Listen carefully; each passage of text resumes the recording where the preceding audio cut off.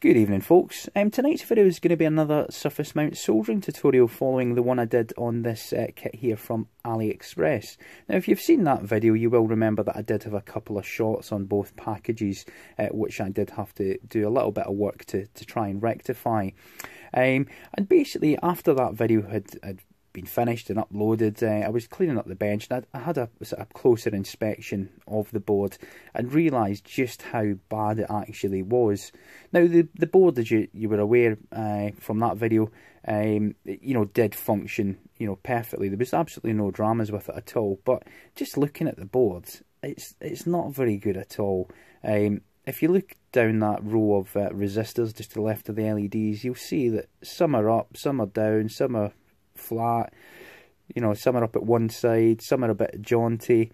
It's just generally not very good. The big balls of solder on the end. Um, I mean, this first one here, you can see it's it's horrific. Um, it's not good at all. Um, and so basically what it, that boils down to is, is, using too much solder paste. Um, so that's what I thought we'd address in this video. Uh, we'll just do another sort of uh, PCB up uh, and I'll just show you this a better way to do it or, or if we can do it uh, to a much higher standard. Now, the issue that I experienced was the essentially the size of the nozzles uh, that came with the solder paste. This is the one that was supplied, or one of the ones that was supplied. And if I just get the old digital calipers out, oops, we can see that the internal uh, diameter of this is 1.4, 1.47 uh, so just under one and a half millimeters. Uh, and basically that was putting out too much solder paste. It was quite difficult to control the flow coming out of that because it was building up pressure in the syringe and, uh, you know, basically after you'd, you'd take the nozzle away it would continue to come out and it was really difficult to control. So I did buy um, a little bottle from AliExpress which came with uh, an assortment of um, an assortment of these nozzles or needles, whatever you want to call them, various sizes, of course, various different outside and inside diameters. So I had a little bit of play about uh, before I started this video, and I found that this one um, is is absolutely perfect. It really is good uh, for doing this kind of stuff. So if we look at the internal diameter of that, we'll see that's uh, point you know 0.8687 something like that. So it's just uh, just over uh, half a millimeter uh, smaller in size. Um, but yeah it does seem to work a bit better. So what I thought we'd do tonight would be to build another kit. Not so much a kit actually but a, a practice board. Now these practice boards can be purchased from AliExpress extremely cheaply. I think this is about 50p including delivery to United Kingdom. Um, and it's got various uh, components supplied with it um, We've got some uh, 0805 uh, resistors and capacitors. We've got uh, some 1206 um, diodes, as you can see there. Uh, got a few um, SOT23 um, transistors and a couple of packages, an SO16 and an SO14. Yeah. So what I thought we'd do is uh, basically, let's say, redo the tutorial if you like, and I'll show you just how much solder uh, you need to, to use. It very much is like the old uh, analogy your driving instructor used to use when talking about speed. You know, it's easier to it's easier to uh, speed up than it is to slow down. And it's it's kind of a similar analogy. It's it's easier to to put more solder on, more solder paste on, than it is to take it off. So that's what we're going to be looking at tonight. Um, so what I'll do is I'll pause the video. Um, I'll hook up the Borescope camera to get a better close-up image, and then I'll show you just how little solder you actually need to uh, put this board together. Anyway, if you just bear with me, I'll get set up. Welcome back folks. A Couple of points. The first one being uh, the software I normally use to uh, record my borescope on my Galaxy S7 Edge is not compatible with the new uh, Android 7.0 operating system. So I've had to move the workbench closer to the camera uh, just to keep the you know the clarity in the image. So that was the first point. Second point is you will notice I've already soldered these diodes on. Um, I did a nice, uh, hopefully quite a nice tutorial talking you through everything and then realised I hadn't pressed record. So apologies, uh, those are already on there. But as you can see, uh, nice shiny joints with minimal solder. quite pleased with those actually. Um, so let's carry on with the tutorial. Um, the first thing uh, we're going to have to do, or make sure we do, is make sure the, the tip of the nozzle is clean. It just uh, makes things a bit easier. Um, and then what we want to do, I think I mentioned in the other video, uh, is just keep the, the syringes as vertical as we can. Um, now, this might be quite difficult to, to show you. I will attempt actually to zoom in, like so. Um, and what we want to do is put the, the tip of the nozzle almost direct onto the board. Um, in fact, there's enough solder just come out there, as you can probably see. Um, and just the uh, gentlest of pressure and just the tiniest amount of solder paste going down on the board. Now you really don't need a lot of pressure to get the, the paste out. It is coming out quite nicely.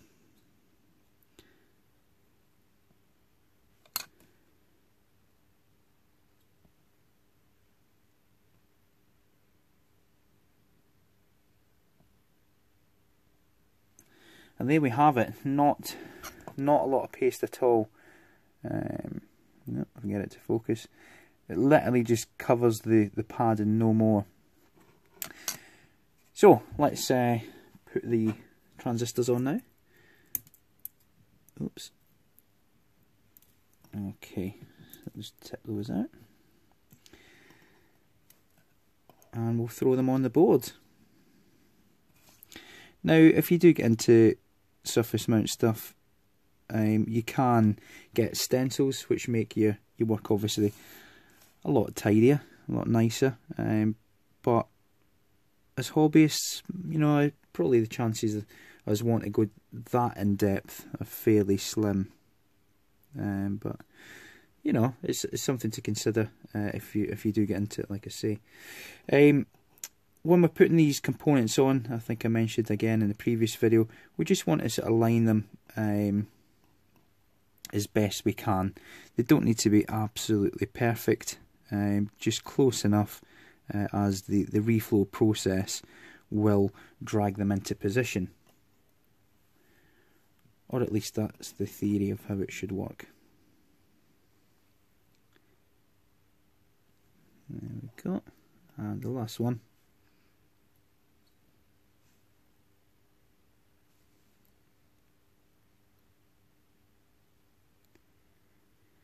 like so. Okay, so we'll heat it up with a uh, hot air reflow, what do you call it, sorry, rework gun if you want to call it that. Uh, I've set this to around 350 and the uh, speed setting around uh, one and a half, two, something like that. So we're gently just going to heat this up, not keeping the temperature, or sorry, not keeping the nozzle in any one place for any great length of time.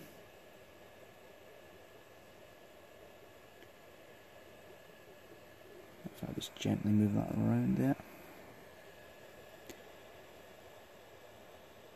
You can see the paste starts to go a sort of chalky white colour. And then shortly after that we should see it uh, beaded up and dragging the components into place. We can see that top one, there we go, that's them start to go.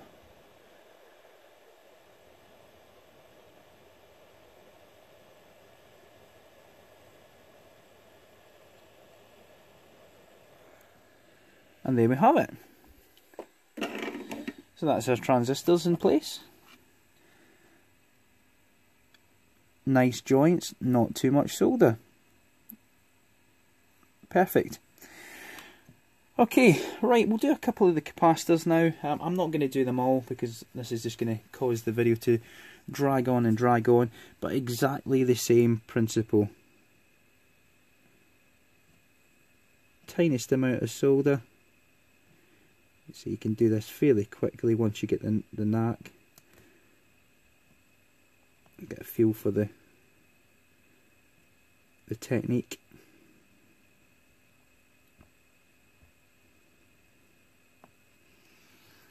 There we go, I'll just show you again. Barely a coating uh, on there. And then we'll take our caps.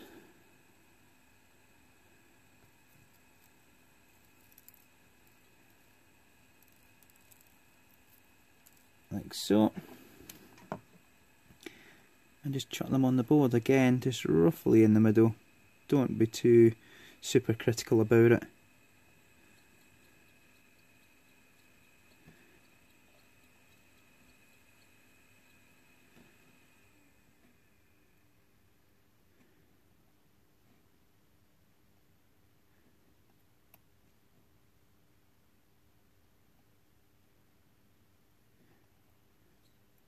the last two or three now.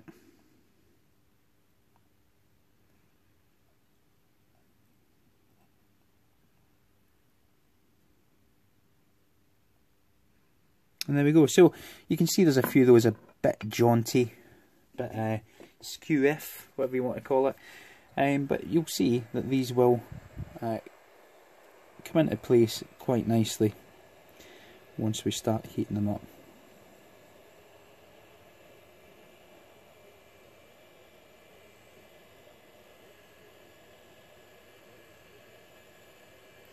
Just keep an eye on them, let's see, look for it going sort of chalky white, and then shortly after that, the silver, uh, sorry, the lead and tin will melt together with the aid of the flux, and then they'll all be dragged into position.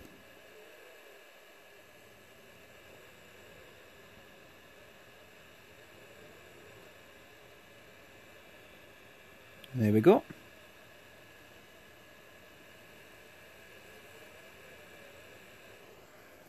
Now we can see this one here has just uh, decided to go its own way. So we can just sort of poke that into position and it will uh, sort itself out. See, I think I've got my air speed just slightly too fast uh, on this occasion for these uh, components.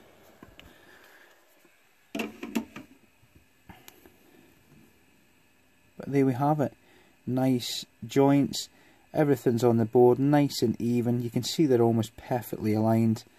And um, we've got that nice fillet of solder on the end.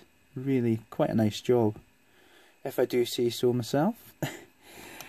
right, now the big thing we had the problem with uh, last video was the packages and getting those um, getting those soldered up um, without the shots. So we're going to do exactly the same thing with these, except it's going to be a continuous uh, bead of solder paste, okay? So, if I can orientate this um, as best I can, and I will just apply a little bit of pressure,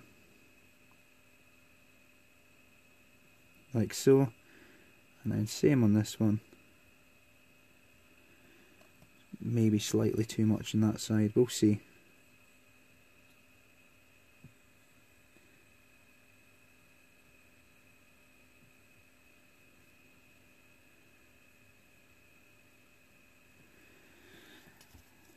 Okay, right, so two little beads of solder paste.